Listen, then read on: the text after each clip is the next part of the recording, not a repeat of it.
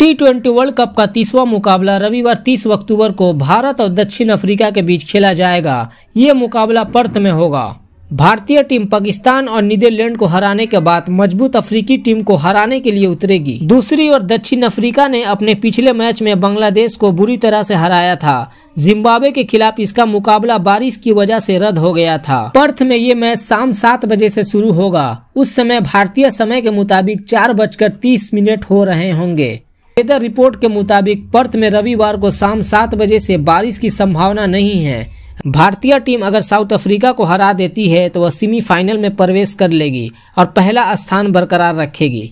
बात south Africa के schedule की करें तो इस टीम को भारत पाकिस्तान के अलावा नीदरलैंड के खिलाफ तीसरा मैच खेलना है। अगर अफ्रीकन टीम दो मैच जीत लेती है तो वह सेमीफाइनल में प्रवेश कर लेगी। वहीं बात जिम्बाब्वे की करे तो उन्हें भी भारत के खिलाफ और बांग्लादेश के खिलाफ मैच जीतने होंगे। तब जाकर वह सेमीफाइनल में प्रवेश कर सकती है और इस तरह पाकिस्तान टीम टूर्नामेंट से बाहर हो जाएगी।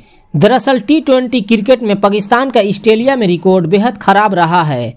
ऑस्ट्रेलिया में पाकिस्तान ने कुल छह टी ट्वेंटी खेले हैं, जिसमें पाँच में उन्हें हार का सामना करना पड़ा है। वहीं एक मैच का नतीजा नहीं निकल पाया है। आपको क्या लगता है, क्या भारतीय टीम साउथ अफ्रीका को आसानी से हरा देगी? कमेंट कर ज़रूर बताएँ और चैनल को सब्सक्राइब कर लें ताकि क्रिकेट से जुड़ी तमाम खबरें आप तक पहुँचती रहें।